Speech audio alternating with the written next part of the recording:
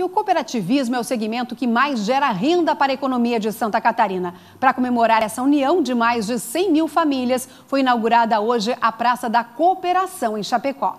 A Praça da Cooperação é o novo centro de convivência entre famílias e amigos de Chapecó. A praça é destinada a toda a população.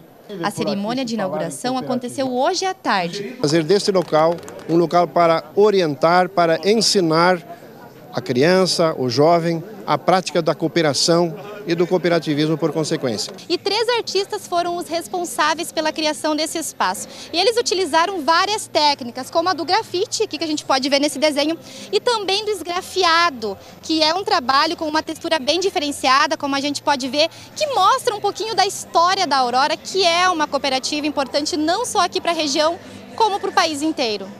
Também foi feito um monumento à cooperação. Com 6 metros de altura, os favos em aço formam uma colmeia. Eles representam o espírito cooperativo das abelhas. Uh, acabamos conseguindo elaborar assim, todo esse espaço, unindo duas artes de dois artistas de dois tempos. A inauguração faz parte do cinquentenário da cooperativa, que conta com mais de 100 mil famílias associadas. Aqui no Oeste a gente tem uma história muito parecida, todos nós temos algum antepassado que trabalhou na, na, no agronegócio, na agricultura.